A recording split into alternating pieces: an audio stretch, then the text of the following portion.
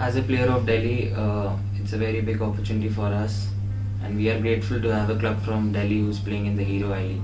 Because uh, if we see, there's there's there's never been a club from Delhi who has played in the Hero I League. There, there have been clubs who are playing under 18 and second division I League, but now Delhi has a big Delhi players have a big opportunity to play for a club I League. There are very talented players in Delhi. So earlier there was no such platform to perform.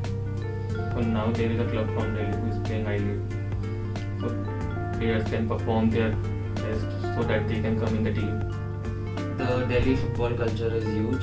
There have been always good players coming out of Delhi.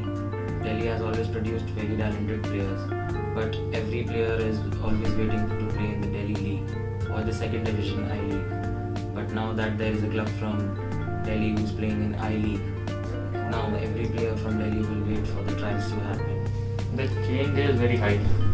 There are a lot of players who are very talented and very good. There is a lot of experience I came to learn performing in the League. In Delhi, in the Sudeva residential setup, uh, all the teams stay together. Under 13, under 15, under 18, and the senior team stays together. Every every player is uh, seeing each other daily, and the junior boys learn from the senior boys a lot.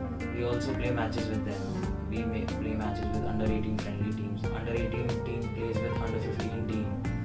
everyone has a good connection, and uh, it's a very very good environment for the junior players. There are senior players in our team like Kean Lewis, Jay Rawat, Rakshit Dagar, which help us on pitch and off the pitch. So there are a lot of experience that I gained from them. As a team, being an all Indian side, we are very united. There are players from different parts of the country which help each other to be better, to become a better footballer, both on and off the pitch. We are more united and uh, we will perform